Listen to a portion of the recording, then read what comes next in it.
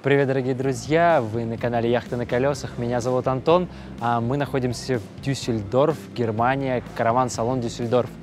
Я в белых перчатках. Почему? Потому что мы пришли на стенд Морелла. У нас будет несколько обзоров с этого стенда, потому что мы пришли, запутались здесь в количестве просто планировок, вариантов. Это премиальные автодома, построенные на базе МАН и Века. И сегодня мы посмотрим такой бестселлер немецкого рынка, то есть это та Морелла, которая продается чаще всего в Германии.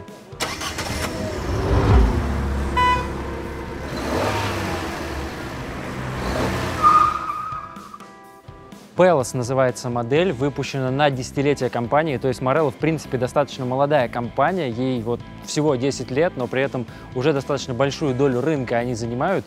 Вариантов, как я сказал, достаточно много. Вот впереди стоит э, вариант, когда мини-купер заезжает в багажник, а, но мы сегодня смотрим вот Пелос юбилейный, и я предлагаю сразу идти внутрь, потому что, ну, внешне плюс-минус они там все одинаковые. Потом посмотрим обязательно багажник э, или гараж, или как там сейчас дойдем, узнаем. И вот мы в кабине этого огромного автодома. Э, на самом деле, здесь я себя не ощущаю, что здесь прям как-то очень сильно все это высоко и оно просторно, но нет ощущения, что это громадное. Вот искренне, честно, я смотрю в зеркала, все вижу. И, конечно, не, не легковая машина, но в принципе чего-то громадного нет, как мы смотрели недавно огромный дом на базе Мерседеса, 12-метровый. Смотрите прошлые обзоры. Хочу обратить ваше внимание, что двери за моей спиной здесь нет, и с противоположной стороны тоже. То есть вход в автодом у нас, даже на водительское место, один. Основная дверь. Позже вам ее обязательно покажу, там тоже есть интересные моменты с замком. А здесь что мы видим? Э, стандартная как бы кабина и века, ну вернее не совсем стандартная, она вот адаптирована вот это вот весь до, в салон дома, кожа, вот эта вся история, но тем не менее есть какие-то элементы. Э, приборная панель от Ивека. Ивека, кстати говоря, я вот тут смотрю, оп, вижу зна зна знакомые наши родные фиатовские кнопочки, Traction Plus, например, система. Ивека — это совместная, так сказать, компания с Фиатом. Ивека делает огромные грузовики, автобусы. Фиат делает что-то э, меньше, и в том, ну, вернее, Fiat Professional, а просто Fiat делает уже легковые автомобили. И вот как бы, ну, часто пишут, ой, Fiat, это что, типа, это итальянские Жигули. Это касается исключительно э, маленьких легковых машин. Fiat Professional, то, что делает э, грузовики, как бы тоже небольшие, на которых мы чаще всего смотрим с вами автодома, это уже другая чуть-чуть как бы компания, другое качество. Э, и Ивека это, соответственно, тоже это такой э, коммерческий транспорт э, большого масштаба, который отвечает, так сказать, за свое качество.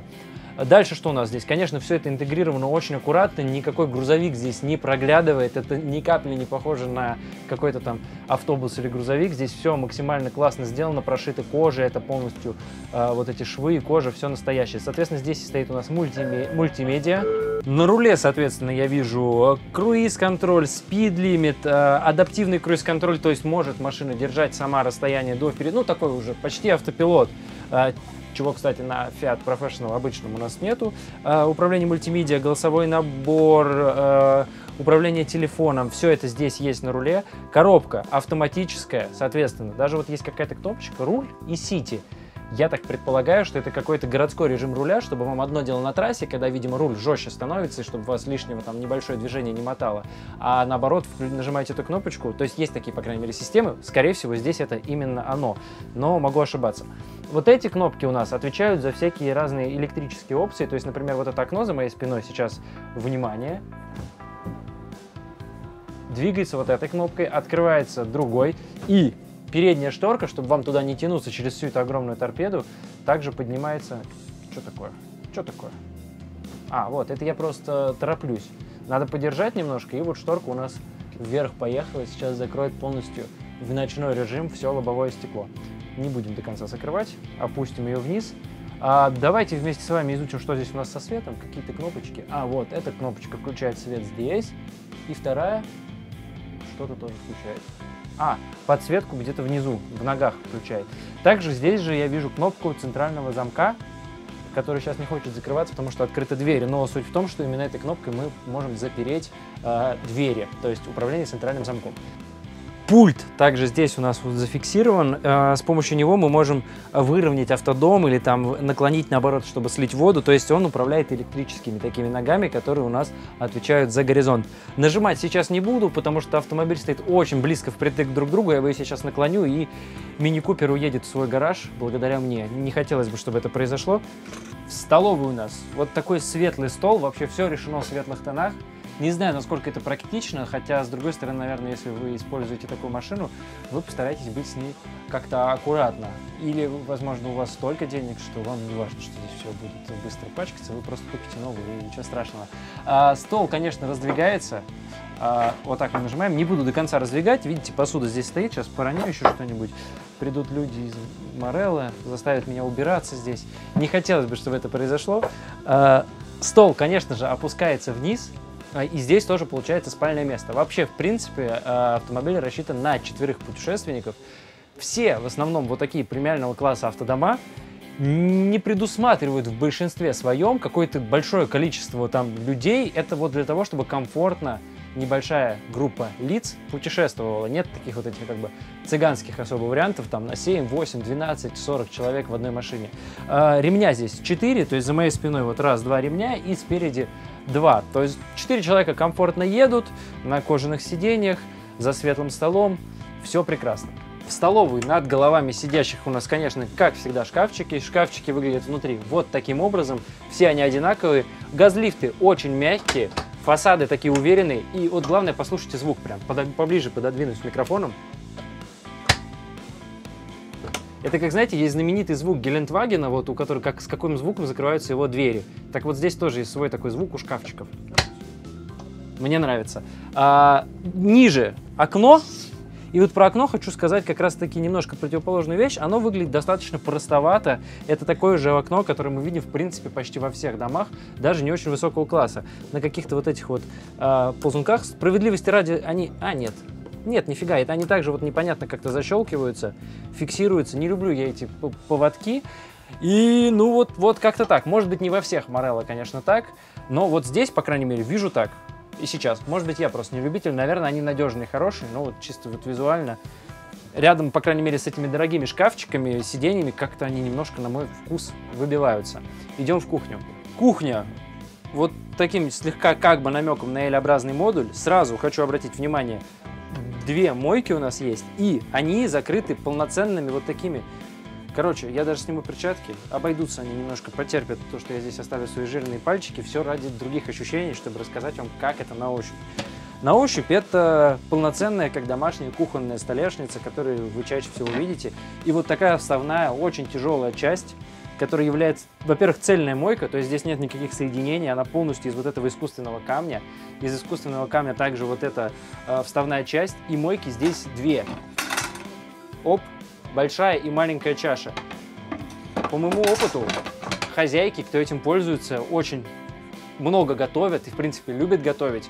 Э, предпочитают, чтобы было две мойки, чтобы это было комфортно, и, возможно, им как раз-таки очень понравилось бы Опять же, пишите в комментариях, если, возможно, ваша жена или девушка как-то вы сталкивались с этим вопросом, возможно, делали ремонт, или, возможно, как раз лично вы имеете мнение на этот счет. А, плита газовая, по крайней мере, вот в этой версии газовая, нам сказали, что здесь есть полностью электрическая версия, а, то есть без газа а, Морелла. Мы постараемся ее тоже посмотреть. А, здесь вот просто стандартные три огня, Тетфорд, плита закрывается вот таким стеклом, выглядит очень аккуратно. Не, не сказал про кран, кран меня прямо сразу впечатлил. Первое, что я увидел, войдя, это вот этот кран. Достаточно дорогие, как правило, вот такие смесители кухонные, которые с пружинкой и вот этим душиком. А, они очень удобные, и на профессиональных кухнях в ресторанах очень часто используется именно такой тип кранов, и вот здесь установлен он, он выглядит эффектно и пользоваться им реально удобно. Я вот когда пробовал, это как бы очень реально круто. Всегда эти гибкие на пружинке. И он, конечно же, полностью металлический, такой основательный. Шкафчики все одинаковые, все одинаково. А, кофемашина стоит здесь. Нашла она как-то аккуратно свое применение. И, конечно же, для капсул тоже крепление у нас здесь. То есть вы так подходите, раз, что мы там сегодня пьем? Оп, все, ваш кофе противоположной стороны холодильник Дометик. Самый крутой, конечно, который открывается в одну сторону и в другую сторону. Не знаю тоже, зачем он тут на самом деле. Наверное, чтобы из спальни ночью было удобно. Пришел и сразу что-то достал тут пожрать. Вот, ну, по, по большому счету и столовая и кухня находятся с одной стороны. Ну, конечно, всегда удобно, когда он открывается в любую сторону. А выше а, такой духовой шкаф, и мне тут сказали, что вроде как это должна быть а, некая микроволновая печь, что тоже должна работать. Но что-то у меня есть на эту тему сомнения. А, дальше что у нас? Ко входу немножко продвинемся мы. Раз, два мои любимые узкие шкафчики, которые уезжают, выезжают, обожаю их, потому что они очень практичные, соответственно, сюда вы можете как просто поставить дополнительные лоточки, что-то сложить, так и какие-то бутылочки, использовать это как часть кухни или как часть какого-то другого пространства, потому что находятся они на стыке, ниже еще одна точно такая же, только длиннее. Зеркало у нас здесь при входе, удобно, что оно в полный рост. Выше огромная дверь, за которой прячется основной пульт, э, то есть все системы жизнеобеспечения дома здесь регулируются. Вот мы сейчас вот так вот сделаем. Оп, и выключили свет на основном пульте. Э, также, конечно, здесь мы можем включать, отключать помпу. Жидкостное отопление Альде, в принципе, почти во всех э, версиях Морелла стоят именно жидкостное отопление Альде, вот знакомая нам уже печь. Солнечные батареи здесь у нас показывают заряд, также на отдельном пульте. А, фирменная Морелла тут логотипчик у нас присутствует. Ну, то есть все, в принципе, так вот по красоте, как говорится, сделано и спрятано за аккуратной дверью, чтобы вот эти все лишние циферки и светящиеся экраны не мешали вам ночью и вообще не смущали вас. При входе в спальню и душевую, которую мы сейчас с вами посмотрим, у нас небольшой шкафчик, подсветочка. Кстати, опять вот мне что нравится здесь, э, реализовано классно, то, что все время по всей длине идет светодиодная лента, там, багажника, позже вам обязательно покажу, или вот э, шкафа. То есть вы можете э, видеть все очень хорошо в любом месте, на любой полке. Это приятная такая мелочь. И вот дальше у нас, собственно говоря, душевая. Опять же, мелочи очень приятные. То есть дверь полностью прячется, ничего вообще не, не выступает. И нужно вот так вот пальчиком ее зацепить, замок, и дверь выезжает. Она очень плотная, такая хорошая, массивно выглядящая, но при этом по ощущению очень легкая. Она у нас как бы защелкивается здесь и отграничивает туалет, если вам, допустим, нужно в туалет. Вот так вот. Вот, с противоположной стороны от душевой, до которой мы сейчас дойдем, еще один шкаф, в принципе, аналогичный маленькому, только уже в этой зоне, и он гораздо больше. И там есть палка для того, чтобы вешать вещи, то есть можно вынуть, по идее, полки, переставить, сменить какую-то как-то эту конфигурацию, и у нас будет там большой гардероб. Двигаемся к душевой. Справедливости ради хочу сказать, что вот эта душевая, по-моему, ничем не хуже, чем ту, что мы видели в дорогущем Варио, а, при том, что Морелло стоит ну, на порядке и порядке дешевле. Душевая такая же угловая, в принципе, так, так же качественных таких материалов решенная. Ну да, там был такой как бы искусственный камень на стенах, здесь это пластик, который при этом по ощущению, вот я до этого потрогал без перчатки, максимально приближен тоже к этому. Такая же угловая, огромная душевая кабина, точно так же, как и в Варио, в две стороны у нас открывается вот эта дверь и фиксируется, когда в дорогу. Э, радиатор точно такой же стоит а, большой э, от, от печи отопления Альда. Вот здесь полотенцесушитель вертикальный около туалета, который вы можете видеть. Единственное отличие, э, наверное, в том, что здесь она также расположена на проходе и, соответственно, между. Чтобы пройти в спальню, в основную, вам нужно идти через вот эту вот санитарную, так сказать, комнату. Но это уже нюанс, наверное, скорее размера. Там у нас раздвижные стены и что-то такое нереально большое. Здесь это гораздо более компактная история. Туалет, э, даже крепление для ёршика уже есть на стене, и стоит ёршик. Э, дометик такой максимально похожий на домашний э, унитаз, как бы не сильно похож на форму вот стандартную для автодомов, что не может не радовать. С противоположной стороны я был приятно удивлен тому, как выглядит вот эта вот у нас раковина.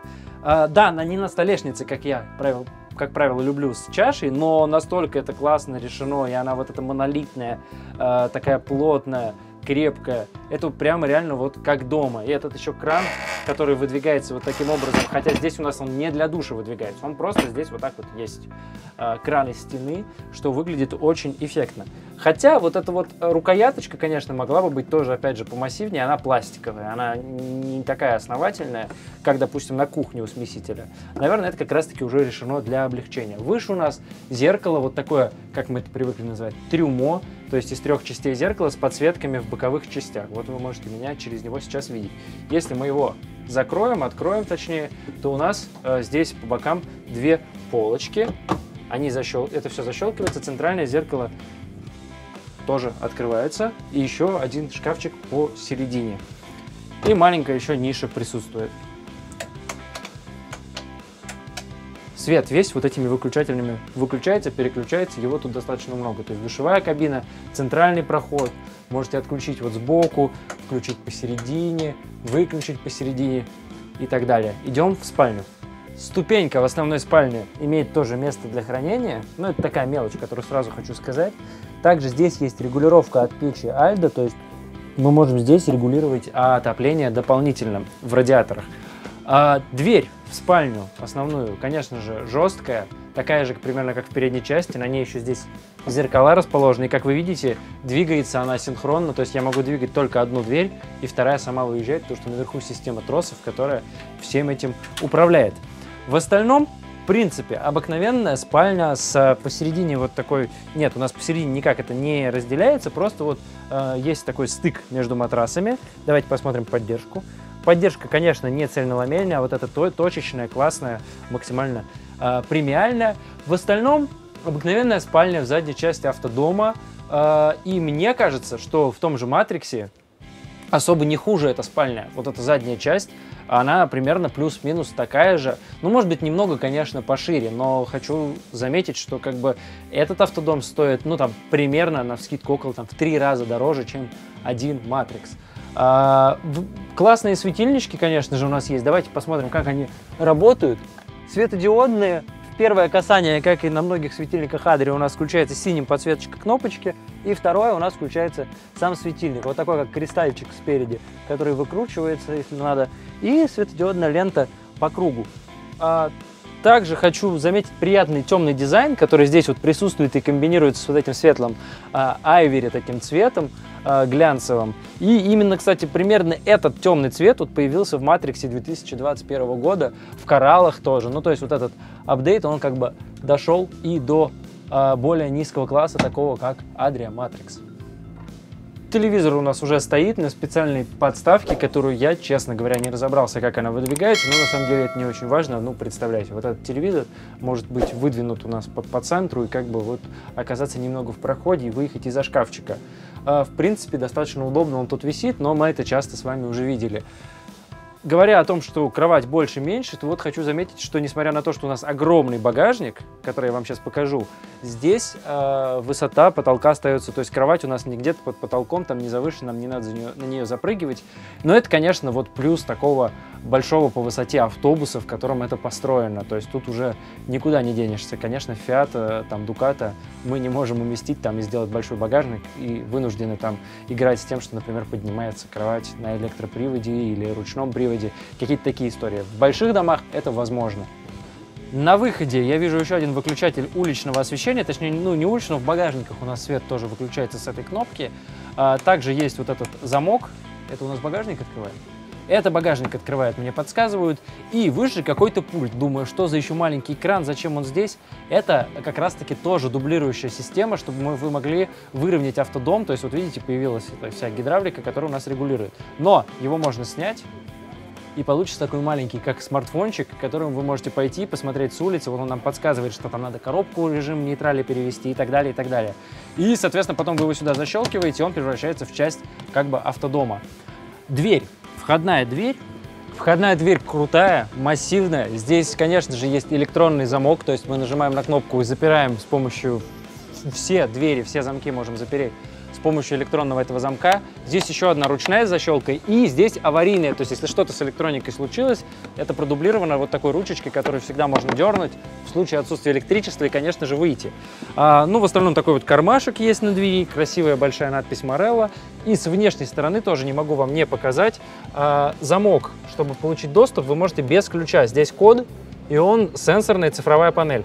Ну, стоит, конечно, сказать справедливости ради, что сенсор не всегда удобен. А, как раз-таки на Варио, который мы смотрели с вами в прошлом ролике, а, там механический замок, то есть тоже электронный. Вы можете нажимать просто руками, а здесь нужно обязательно голые пальцы. Если вдруг вы пришли с замерзшими руками, с какой-то горнолыжки, скорее всего, у вас будут, ну, небольшие трудности.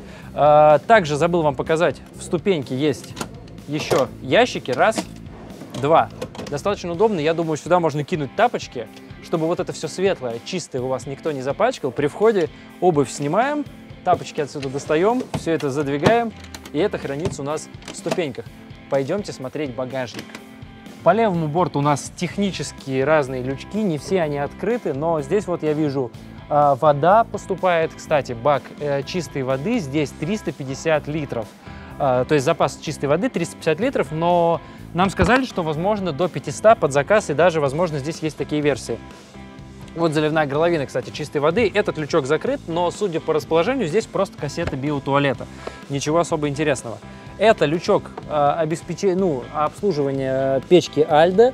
Э, вообще стоит заметить, что здесь очень просторные все вот эти технические лючки, в них много места, то есть можно ставить какое-то дополнительное оборудование, что-то легко ремонтировать и так далее. Это не может не радовать. И, соответственно, выхлопное отверстие печи Альда. Багажник с противоположной стороны еще одна дверь. Открыть я ее не могу, потому что надо идти кругом в салон и вся вот эта вот история. А, также еще, что важно сказать, то, что серой воды здесь бак 200 литров и туалет тоже 200 литров. То есть 400 э, литров, грубо говоря, у нас канализация и 350 э, чистая вода. И бак с топливом у нас топливный бак, то есть дизеля, который вы везете с собой, это тоже 200 литров, что достаточно классно и много. А двигатель трехлитровый здесь 218 лошадиных сил. Багажник конкретно в этой модели не особо большой, не особо большой по меркам, наверное, Морелла и таких огромных автодомов. То есть, в принципе, это обыкновенный такой вот багажник, ну, широкий. Вот я, у меня руки поперек не дотягиваются, 250 килограмм вижу шильдик максимальная нагрузка, а, две очень элегантные такой хромированные накладки розетки. Для чего, как правило, делаются розетки в багажнике, потому что сейчас очень популярны, особенно в Европе, а, все эти электросамокаты, электровелосипеды, всякие, в общем, электрические гаджеты, на которых люди перемещаются, поэтому делаются в багажнике розетки, чтобы снаружи у вас его не украли, вы ставите в багажник, и оно здесь заряжается. То есть эту историю мы встречаем достаточно часто. В остальном плюс-минус все достаточно стандартно, то есть вот вижу краник, которым мы перекрываем подачу горячей воды, э, вернее антифриза в радиатор, то есть багажник, конечно, отапливается, крепление для грузов, а, и на стенке закреплен огромный инвертор, который у нас преобразует 12 вольт в 220. Будем дальше искать, смотреть, что с аккумуляторами. Я зайду внутрь, но сниму ботинки, поскольку тут даже дали перчаточки, как я уже сказал, чтобы я не трогал своими жирными пальчиками. Ну, как вообще, может быть, от коронавируса, не знаю. В общем, дали мне перчаточки, чтобы я не лапал тут машину своими руками, поэтому уж ботинки я сниму. Классно сделана светодиодная подсветка по всей длине, это на самом деле приятно, потому что часто у нас где-то в багажнике подсветка с краю, это как бы неплохо, но ты кладешь какие-то вещи, светильник перекрылся, это иногда становится не так удобно. Здесь вот сделан огромный вот этот такой софтбокс э, со светодиодной лентой по всей длине, и вот. Могу отметить, что в этом багажнике я могу плюс-минус пешком вот перемещаться, даже, наверное, сюда присесть. Да, о, уместился я как. То есть э, места здесь более чем предостаточно. Конечно, выключатель света есть и э, около обратной противоположной стороны, стороны, то есть у второй двери. Хочу вам показать ручку на двери багажника. А ручки на двери багажника нет, потому что замок полностью электрический и открывается из салона. Или, я думаю, наверное, на ключе должен быть, должна быть какая-то кнопочка, то есть у вас полностью центральный замок даже на дверь багажника. Она отщелкивается на вот таком газлифте, плавно доезжает и останавливается. Еще одно багажное отделение в передней части, как бы, оно, кстати, у нас уже с ручным замком, то есть надо отпирать ключом, здесь центрального замка нет. А, достаточно большое багажное отделение, оно сквозное, то есть э, во всю длину и можно с обеих, с двух сторон что-то положить. Лыжи, сноуборды. А, по идее, вот вижу решетку, здесь должно как-то и отопление сюда выходить. Соответственно, здесь будет тепло и отлично будет просыхать любой зимний став. Также в этом багажном отделении, так сказать, у нас разместилась заливная горловина от Blue. Не знаю, почему заливную горловину сделали здесь. На мой чисто взгляд, может быть, я не прав. Э, это не очень хорошая идея, потому что, когда она проливается, она очень неприятно пахнет, плюс здесь могут лежать вещи. Если вы сюда прольете что-то из заливной горловины, не знаю, но вот конкретно в этой планировке решено это почему-то так. От Blue находится вот в этом багажном отделении, а не снаружи. Морелла Palace мы сегодня с вами посмотрели. Напоминаю, 10 лет компании, а, но тем не менее она уже успела покорить немецкий рынок вот в своем сегменте премиальных таких автодомов. А, и, в принципе, европейский рынок активно покоряет они умеют в себя влюблять. То есть ты сначала заходишь и такой, ну, как-то много одинаковых каких-то машин такого цвета, Айвери, все они примерно одинаковые, думаешь, ну, что это такое? Потом смотришь, тут у нас Мини Купер стоит вот за моей спиной, там вот Смарт, потом смотришь, в другом такой багажник, третий. То есть очень много разных конфигураций, и везде это как-то продумано с умом, э, с вниманием к мелочам. Вот эти перчаточки, думаете, я где взял? Мне тоже дали на входе сюда на стенд. И вот это отношение, как и здесь на выставке, так и в отношении к самим домам, как их создавали, оно чувствуется так или иначе, и поэтому они умеют себя подкупать. Возможно, я где-то уже даже был не объективен, что-то вам рассказывая, потому что ты находишься под вот этим впечатлением, когда смотришь на эти машины. Мы постараемся обязательно посмотреть для вас э, еще несколько комплектаций, потому что это просто интересно.